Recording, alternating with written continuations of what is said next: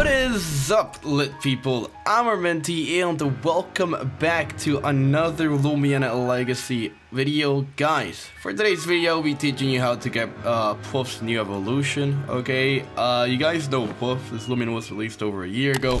Well, it turns out that with the beach update, they sort of like gave it any evolution, which was sort of silly, but interesting at the same time. But anyways, it's quite simple to get this new evolution, so I'll be just teaching you how to do that Okay, first things first, you need a Pwuff.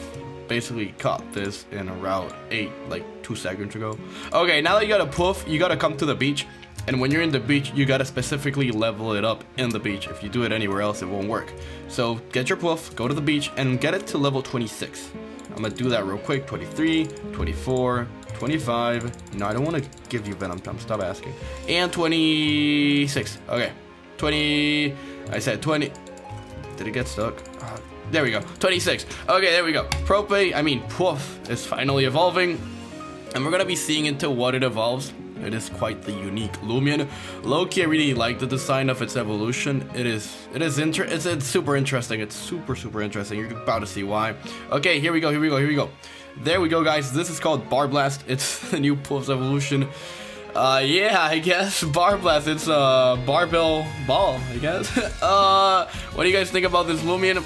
Like I said, I low-key kinda like it. Low-key kinda like, oh yo, that bug part is super cool too.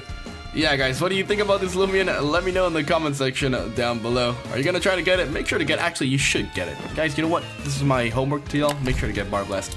But anyways guys, thank you so much for watching this video. I'm Armenti, and we.